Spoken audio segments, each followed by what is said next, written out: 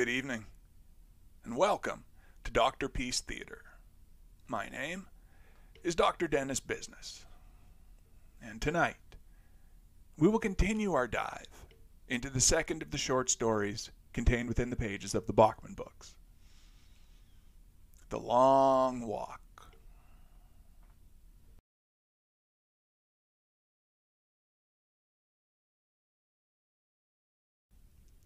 When we last left Ray Garraty and our friends on the road, Ray had taken a mental inventory of himself. He decided that he was crazied up, but basically okay.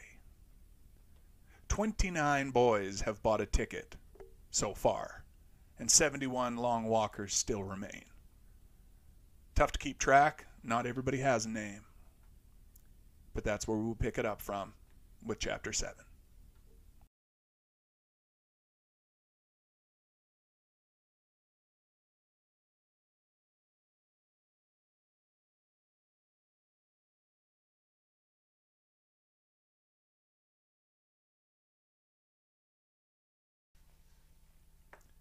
Scramm, number 85, did not fascinate Garraty because of his flashing intelligence, because Scramm wasn't all that bright.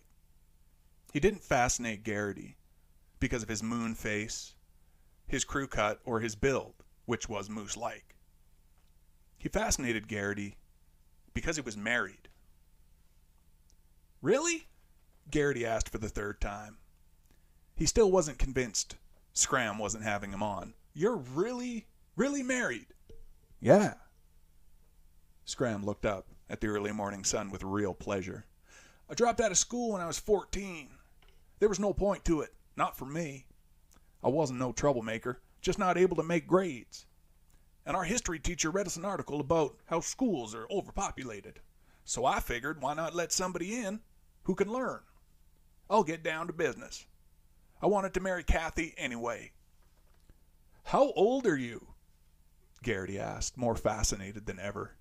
They were passing through another small town, and the sidewalks were lined with signs and spectators. But he hardly noticed. Already the watchers were in another world, not related to him in any way. They might have been behind a thick plate glass shield. Fifteen, Scramm answered. He scratched his chin, which was blue with beard stubble. Nobody tried to talk you out of it? There was a guidance counselor at school. He gave me a lot of shit about sticking with it and not being a ditch digger. But he had more important things to do besides keep me in school. I guess you could say he gave me the soft sell. Besides, somebody has to dig ditches, right? He waved enthusiastically at a group of little girls who were going through a spastic cheerleader routine, pleated skirts and scabbed knees flying. Anyhow, I never did dig no ditch. Never dug one in my whole career. Went to work for a bedsheet factory out in Phoenix. Three dollars an hour. Me and Kathy, we're happy people. Scramm smiled. Sometimes we'll be watching TV, and Kath'll grab me and say, We're happy people, honey. She's peach. Do you have any kids? Garraty asked, feeling more and more like this was an insane discussion. Well, Kathy's pregnant right now. She said we should wait until we had enough in the bank to pay for the delivery. When we got up to 700, she said go, and we went. She got pregnant in no time at all. Scramm looked sternly at Garraty. My kid's going to college. They say dumb guys like me never have smart kids. But Kathy's smart enough for both of us. Kathy finished high school. I made her finish. Four night courses, and then she took the HSET. My kid is going to do as much college as he wants. Garraty didn't say anything. He couldn't think of anything to say. McVries was off to the side in close conversation with Olson. Baker and Abraham were playing a word game called Ghost. He wondered where Harkness was. He was far out of sight, anyway. And that was Scramm, too. Really out of sight. Hey, Scramm, I think you made a bad mistake. Your wife, she's pregnant, Scramm, but that doesn't win you any special favors around here. 700 in the bank? You don't spell pregnant with just three numbers, Scramm. And no insurance company in the world would touch a long walker. Garraty stared at and through a man in a houndstooth jacket. who was deliriously waving a straw hat with a stringy brim. Scramm, what happens if you buy it? He asked cautiously. Scramm smiled gently. Not me. I feel like I could walk forever. Say, I wanted to be in the long walk ever since I was old enough to want anything. I walked 80 miles just two weeks ago. No sweat. But suppose something should happen. But Scramm only chuckled. How old's Kathy? She's about a year older than me. She's almost 18. Her folks are with her now there, down in Phoenix. It sounded to Garraty as if Kathy Scramm's folks knew something Scramm himself did not. You must love her a lot, he said, a little wistfully.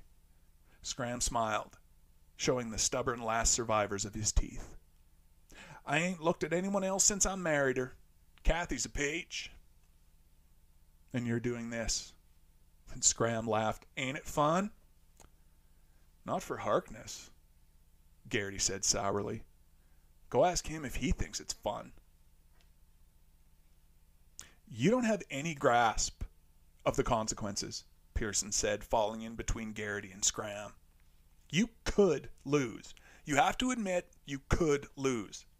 Vegas odds made me the favorite just before the walk started. Scramm said. I'm odds on favorite. Sure, Pearson said glumly. And you're in shape, too. Anyone can see that.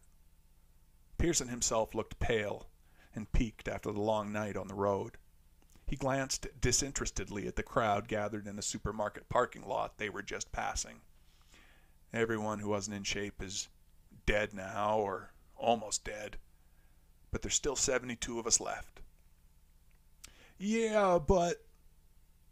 A thinking frown spread over the broad circle of Scramm's face. Garraty could almost hear the machinery up there working.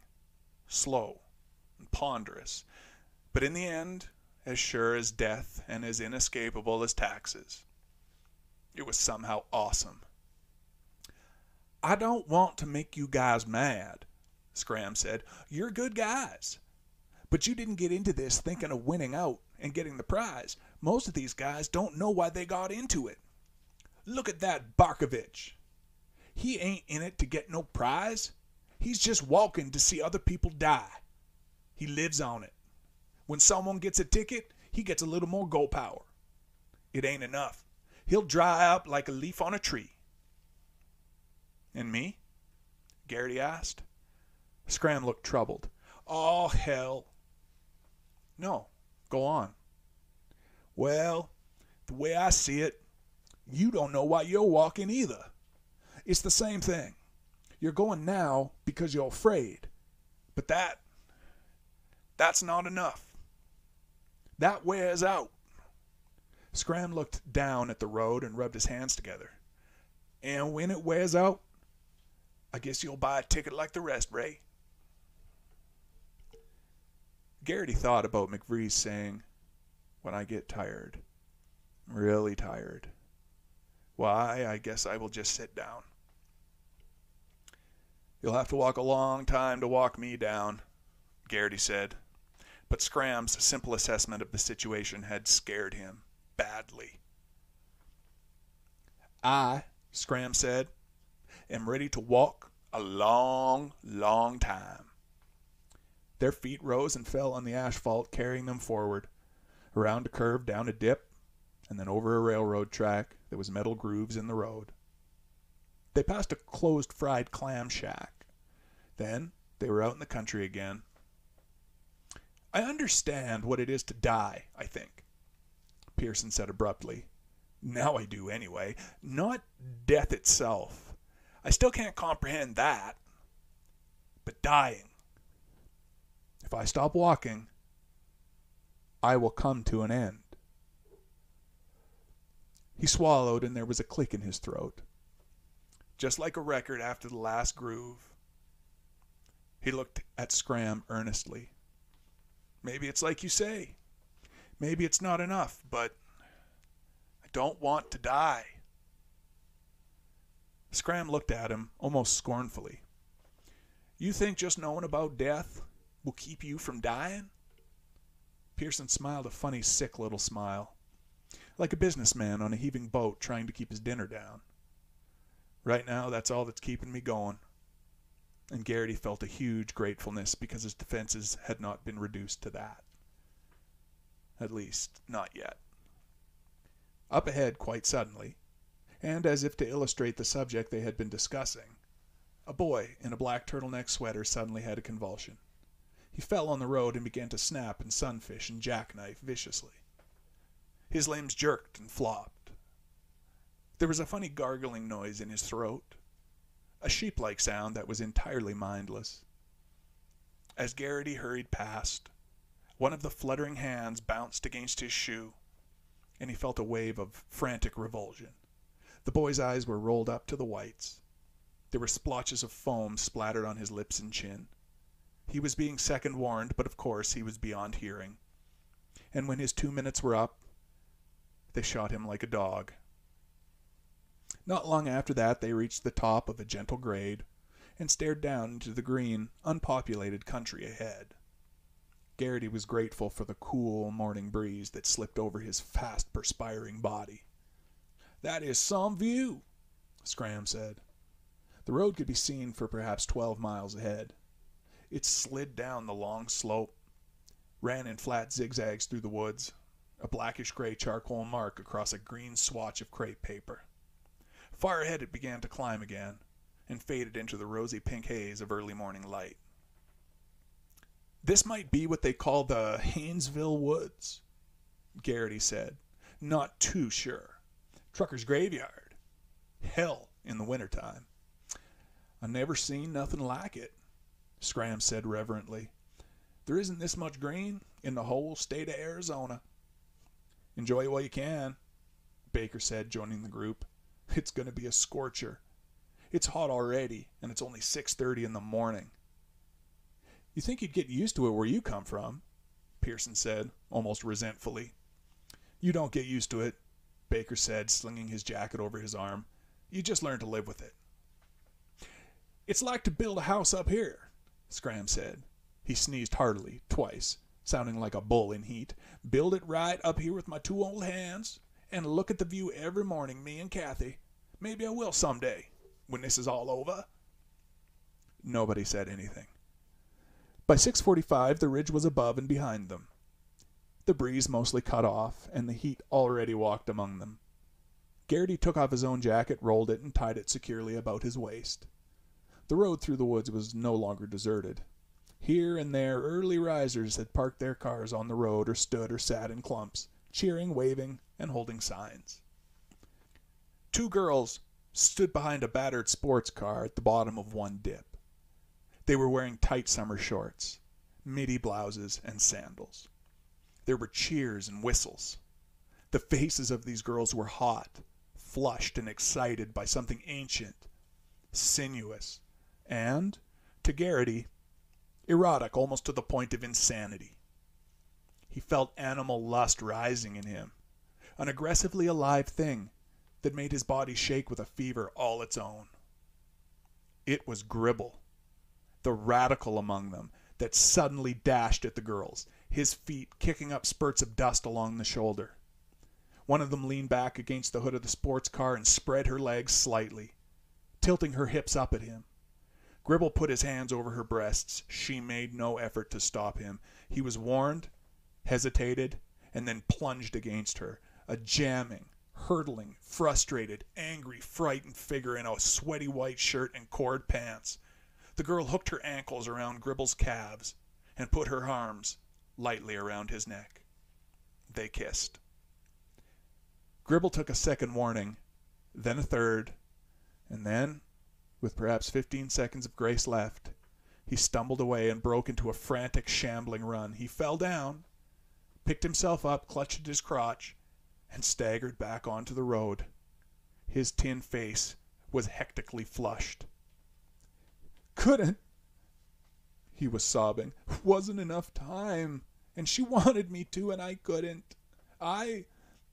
He was weeping and staggering, his hands pressed against his crotch. His words were little more than indistinct wails. So you gave them their little thrill, Barkovitch said. Something for them to talk about in show and tell tomorrow. Just shut up! Gribble screamed. He dug at his crotch. It hurts. I got a cramp. Blue balls, Pearson said. That's what he's got. Gribble looked at him through the stringy bangs of black hair that had fallen over his eyes. He looked like a stunned weasel. It hurts, he muttered again. He dropped slowly to his knees, hands pressed in his lower belly, head drooping, back bowed. He was shivering and snuffling, and Garraty could see the beads of sweat on his neck, some of them caught in the fine hairs on the nape. What Garraty's own father had always called quack fuzz. A moment later he was dead. Garraty turned his head to look at the girls, but they had retreated inside their sports car. They were nothing but shadow shapes. He made a determined effort to push them from his mind, but they kept creeping back in. How must it have been, dry humping that warm, willing flesh? Her thighs had twitched. My God, they had twitched. In a kind of spasm. Orgasm. Oh God, the uncontrollable urge to squeeze and caress. And most of all, to feel that heat. That heat. He felt himself go. That warm, shooting flow of sensation warming him, wetting him. Oh Christ, it would soak through his pants and someone would notice. Notice and point a finger and ask him how he'd like to walk around the neighborhood with no clothes on. Walk naked. Walk and walk and walk. Oh, Jan, I really love you, he thought. But it was confused, all mixed up in something else. He retied his jacket about his waist and then went on walking as before, and the memory dulled and browned very quickly, like a Polaroid negative left out in the sun. The pace stepped up. They were on a steep downhill grade now, and it was hard to walk slowly. Muscles worked hard and pistoned and squeezed against each other. The sweat rolled freely. Incredibly, Garraty found himself wishing for night again. He looked over at Olson curiously, wondering how he was making it.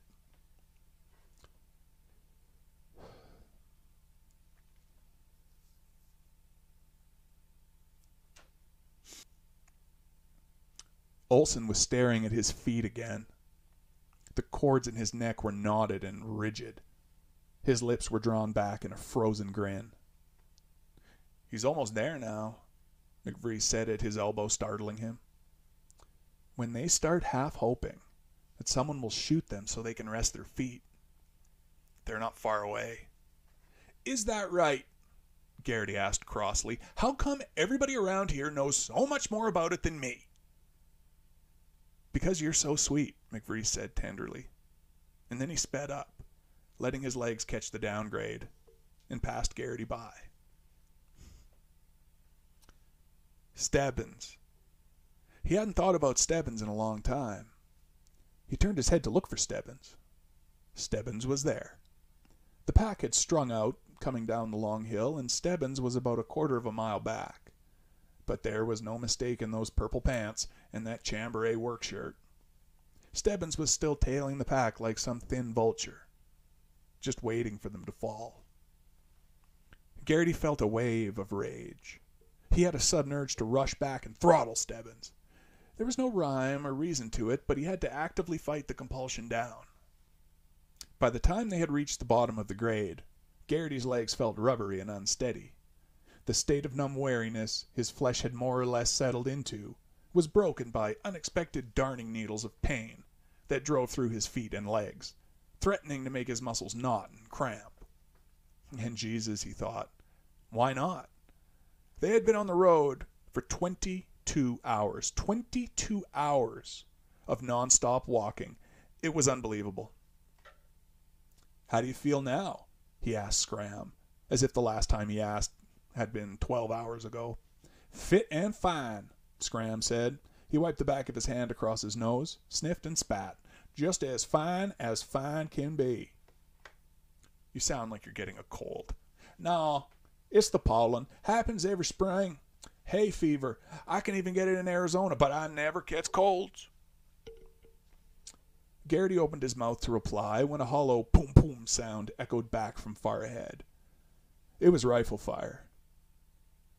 The word came back. Harkness had burnt out. There was an odd, elevatorish sensation in Garraty's stomach as he passed the word on back. The magic circle was unbroken. Harkness would never write his book about the long walk. Harkness was being dragged off the road someplace up ahead, like a grain bag, or was being tossed into a truck, wrapped securely in a canvas body bag. For Harkness, the long walk was over. Harkness, McVries said. Old Harkness bought a ticket to see the farm. Why don't you write him a poem? Barkovitch called over. Shut up, killer, McVries answered absently. He shook his head. Old Harkness. Son of a bitch. I ain't no killer, Barkovitch screamed. I'll dance on your grave, Scarface. I'll. A chorus of angry shouts silenced him. Muttering, Barkovitch glared at McVries then began to stalk on a little faster, not looking around. You know what my uncle did? Baker said suddenly. They were passing through a shady tunnel of overleafing trees, and Garraty was trying to forget about Harkness and Gribble, and only think of the coolness. What? Abraham asked. He was an undertaker, Baker said. Good deal, Abraham said disinterestedly. When I was a kid, I always used to wonder Baker said vaguely. He seemed to lose track of his thought, and then glanced at Garraty and smiled. It was a peculiar smile. Who would embalm him? I mean, like, you wonder who cuts the barber's hair or who operates on the doctor for gallstones, you see? It takes a lot of gall to be a doctor, McVries said solemnly. You know what I mean. So who got the call when the time came? Abraham asked. Yeah, Scramm added. Who did it?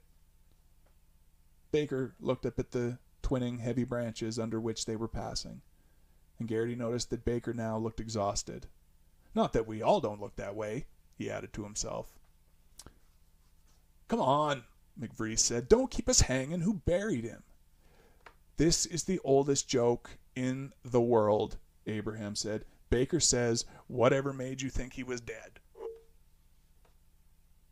He is, though, Baker said lung cancer, six years ago. Did he smoke? Abraham asked, waving at a family of four and their cat. The cat was on a leash. It was a Persian cat. It looked mean and pissed off.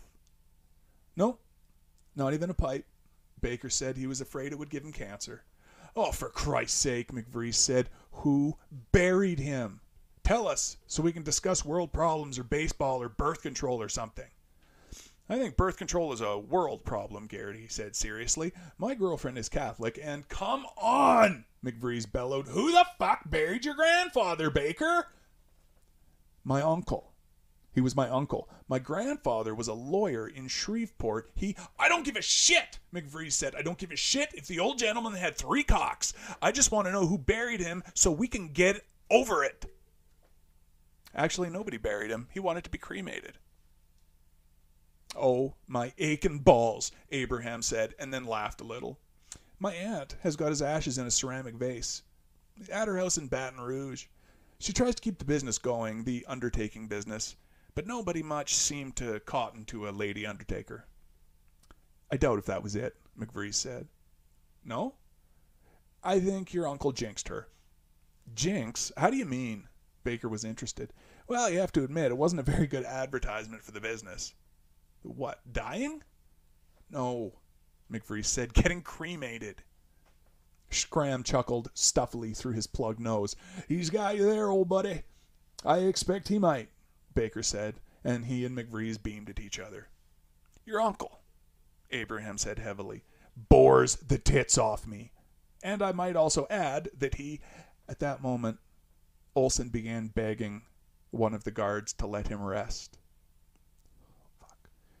He did not stop walking, or slow down enough to be warned, but his voice rose and fell in a begging, pleading, totally craven monotone that made Garraty crawl with embarrassment for him. Conversation lagged. Spectators watched Olson with horrified fascination. Garraty wished Olson would shut up before he gave the rest of them a black eye. He didn't want to die either, but if he had to, he wanted to go out without people thinking he was a coward. The soldiers stared over Olson, through him, around him, wooden faced, deaf, and dumb. They gave an occasional warning, though, so Garraty supposed you couldn't call them dumb. It got to be quarter to eight, and the word came back they were just six miles short of a hundred miles. Garraty could remember that reading the largest number to ever complete the first hundred miles of a long walk was 63.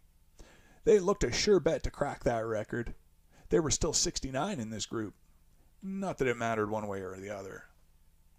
Olson's pleas rose in a constant garbled litany to Garraty's left, somehow seeming to make the day hotter and more uncomfortable than it was. Several of the boys shouted at Olson, but he seemed either not to hear or not to care. They passed through a wooden covered bridge, the planks rumbling and bumping under their feet. Garraty could hear the secretive flap and swoop of the barn swallows that had made their homes among the rafters. It was refreshingly cool, and the sun seemed to drill down even hotter when they reached the other side. Wait till later if you think it's hot now, he told himself. Wait until you get back into open country. Boy, howdy. He yelled for a canteen, and a soldier trotted over with one.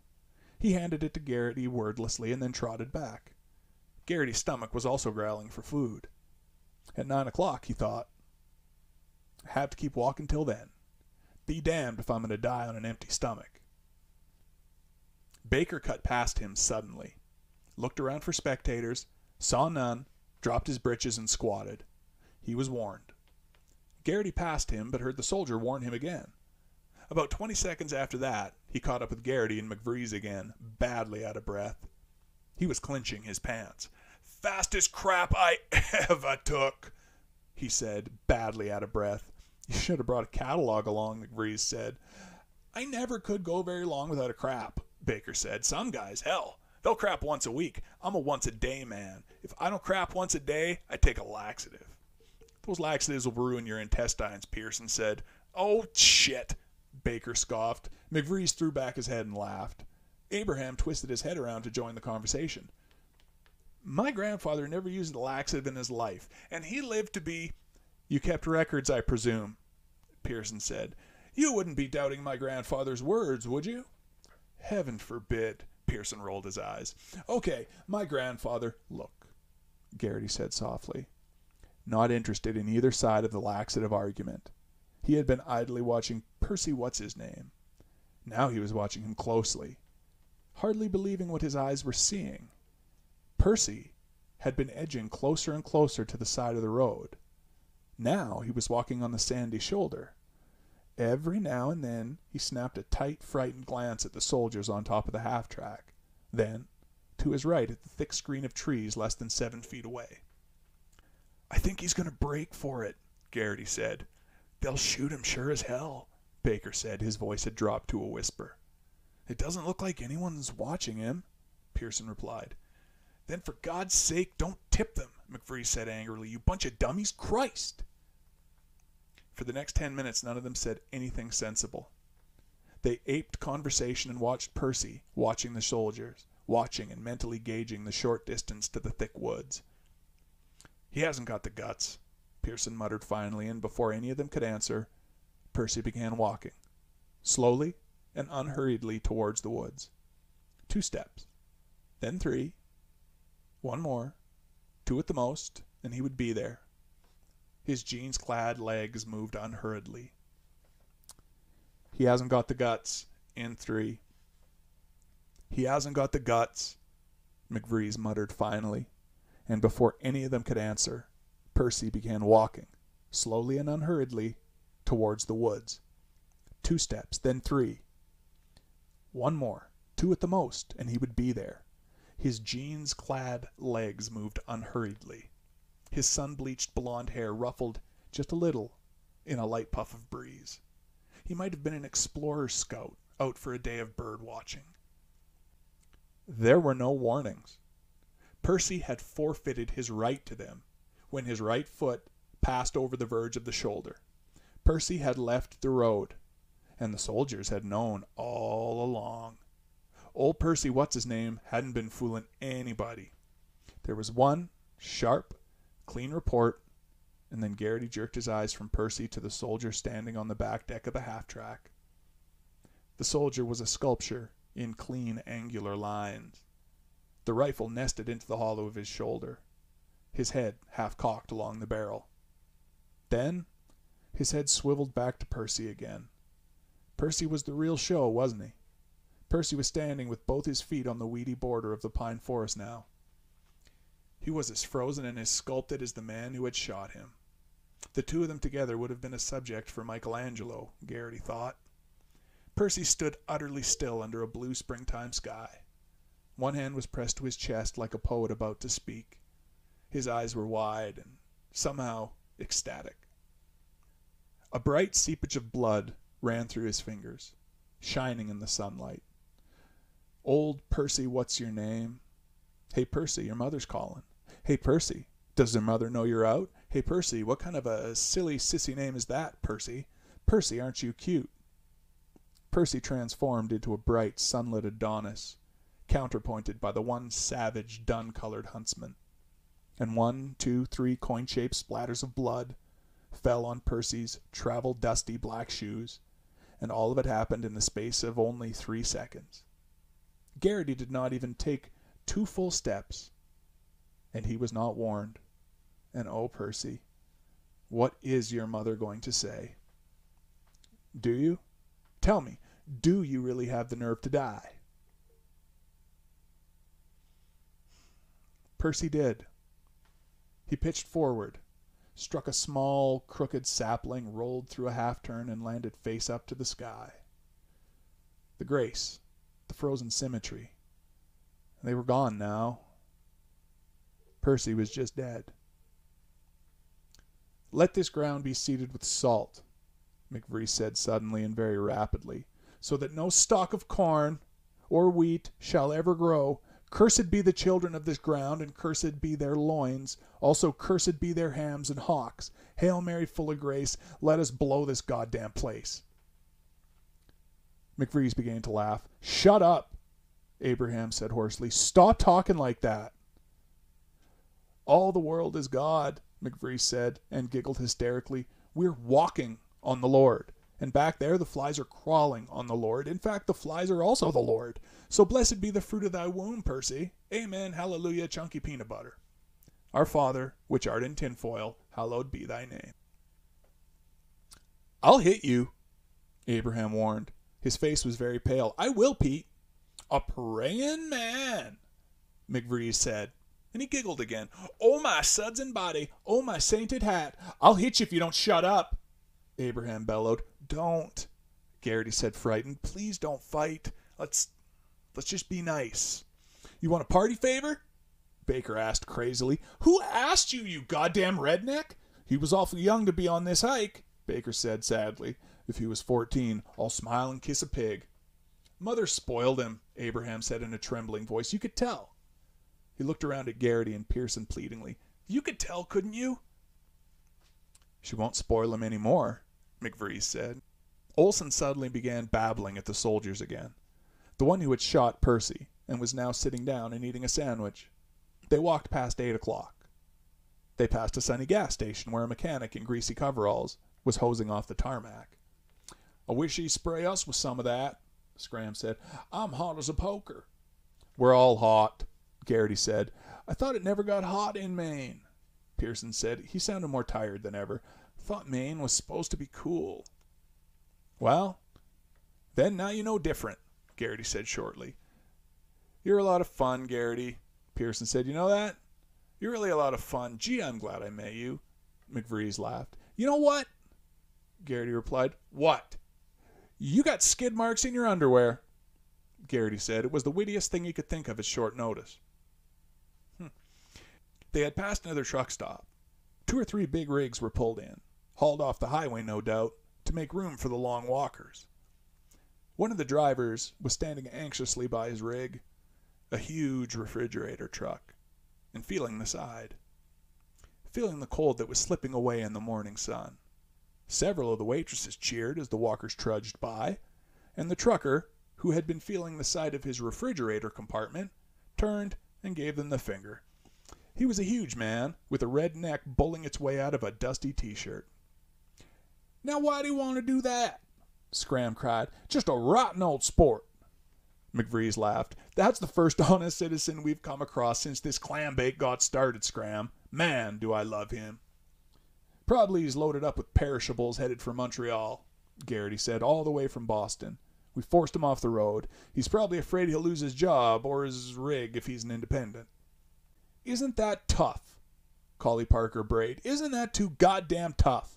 They've only been telling people what the route was going to be for two months or more. Just another goddamn hick. That's all." "You seem to know a lot about it," Abraham said to Garraty. "A little," Garraty said, staring at Parker.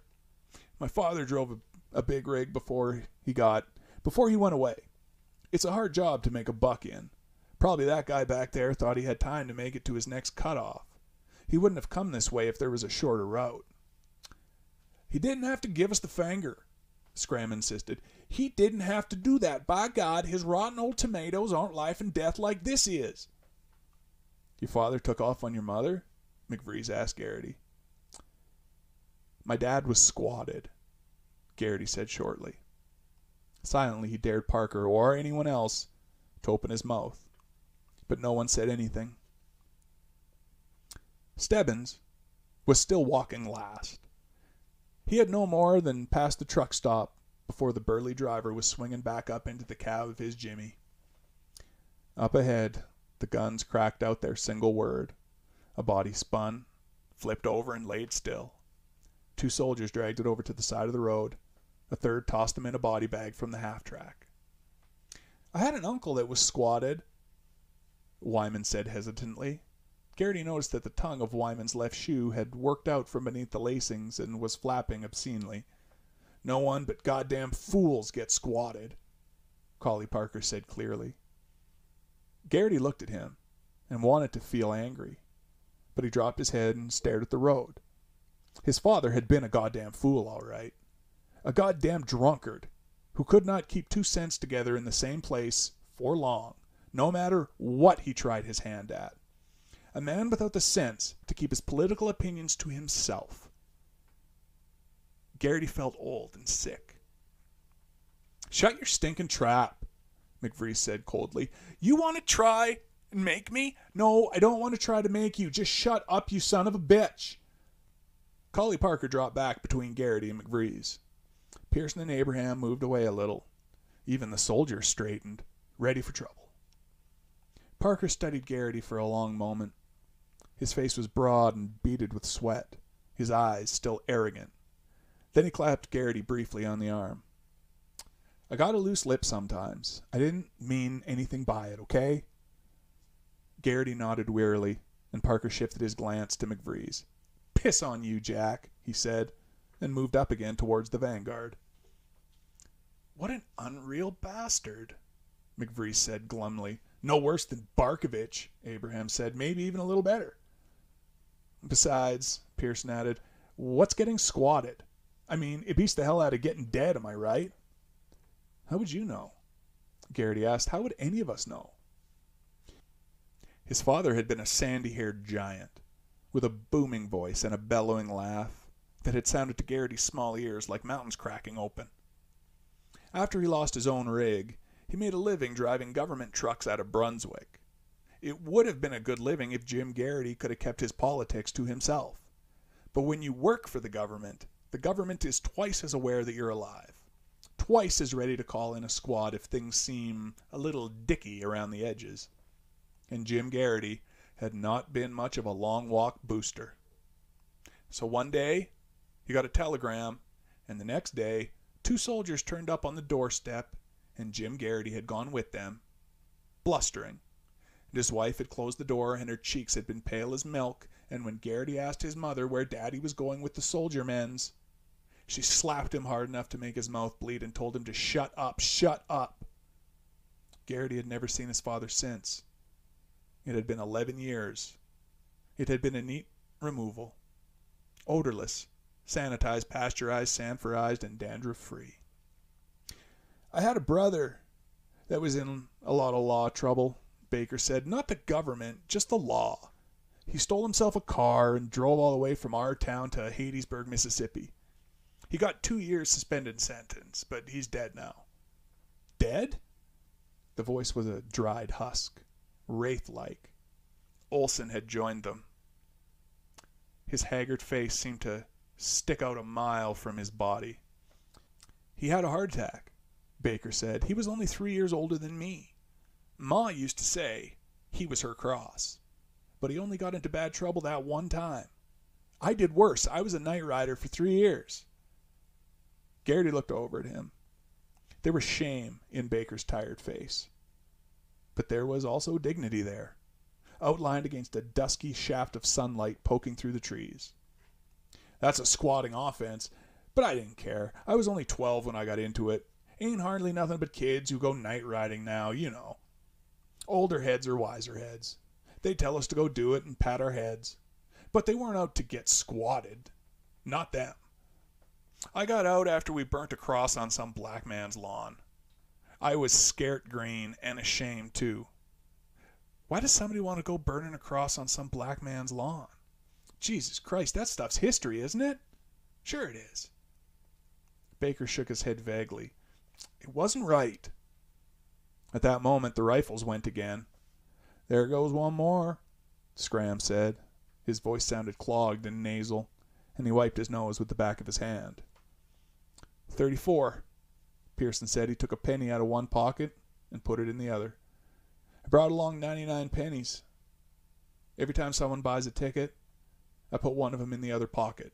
And when, that's gruesome, Olson said. His haunted eyes stared balefully at Pearson. Where's your death watch? Where's your voodoo dolls? Pearson didn't say anything. He studied the fallow field where they were passing with anxious embarrassment. Finally he muttered, I didn't mean to say anything about it. It was for good luck, that's all. It's dirty, Olson croaked. It's filthy. It's. Oh, quit it, Abraham said. Just quit getting on my nerves. Garraty looked at his watch. It was twenty past eight. Forty minutes to food. He thought how nice it would be to go into one of those little roadside diners that dotted the road, snuggle his fanny against one of the padded counter stools, put his feet up on the rail. Oh God, just the relief of that.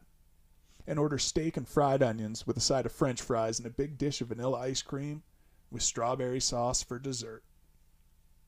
Or maybe a big plate of spaghetti and meatballs with Italian bread and peas swimming in butter on the side. And milk. A whole pitcher of milk. To hell with the tubes and the canteens of distilled water. Milk and solid food and a place to sit and eat in. Wouldn't that be fine?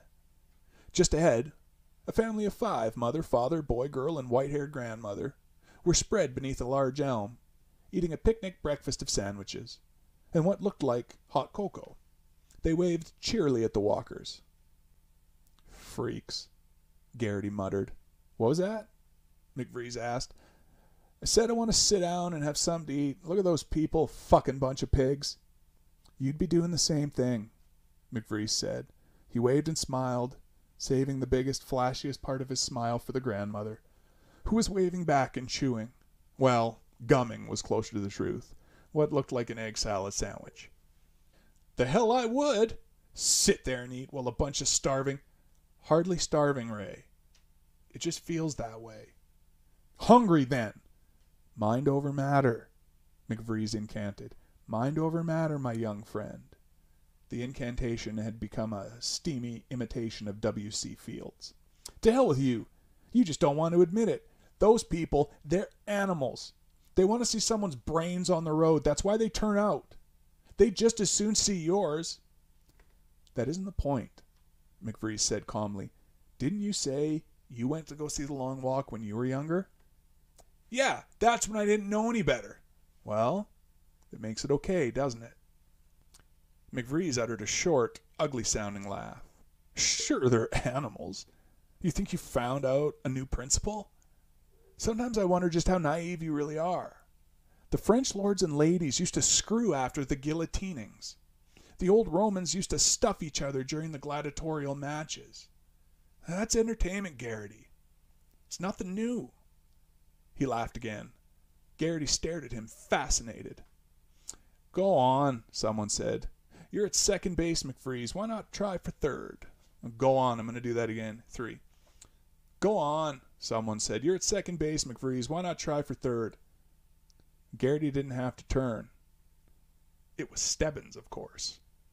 Stebbins, the lean Buddha.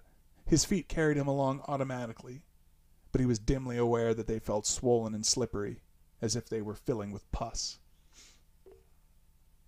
Death is great for the appetites, McVries said. How about those two girls and Gribble? They wanted to see what screwing a dead man felt like.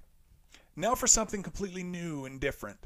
I don't know if Gribble got much out of it, but they sure as shit did. It's the same with anybody. It doesn't matter if they're eating or drinking or sitting on their cans. They like it better. They feel it and taste it better because they're watching dead men. But that's not even really the point of this little expedition, Garraty. The point is they are the smart ones. They're not getting thrown to the lions. They're not staggering along and hoping they won't have to take a shit with two warnings against them. You're dumb, Garraty.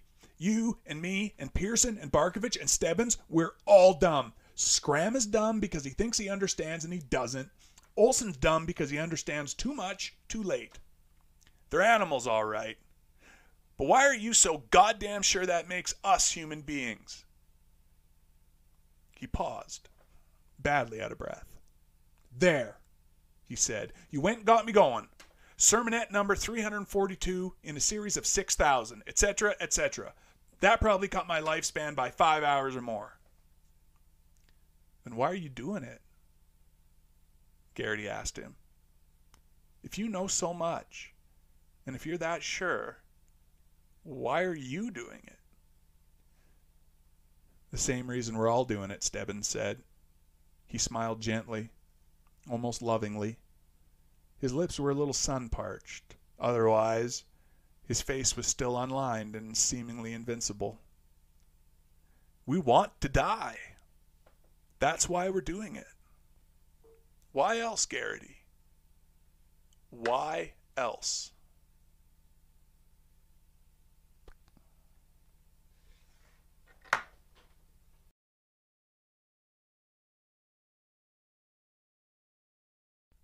That was chapter 7 of The Long Walk, the second short story contained within the pages of the Bachman books. That was a difficult chapter. A lot of boys bought a ticket and Harkness ran over to the girls on the sports car hood, grabbed her boobs, and made it back without getting shot. That's a long walk wizard right there. I didn't think you could do that because he ran over to the girls, right? Did that, got warnings, and then ran back. But Percy was on the other side of the road and he was just inching towards the side. And then, right when he put his foot over, he got shot. So it seems like both those dudes did the same thing but had different rules. If you can't step off the road, then why did Harkness get warned on the way to the sports car when Percy was on the left side of the road and just was inching over, inching over, and then was inching to the trees? And as soon as he left the road, that means your warnings are no longer valid and you're shot on sight. So I don't know how that happened, but we can discuss it next time because this has been Doctorpiece Theater. And my name is Dr. Dennis Business. And as always, my friends,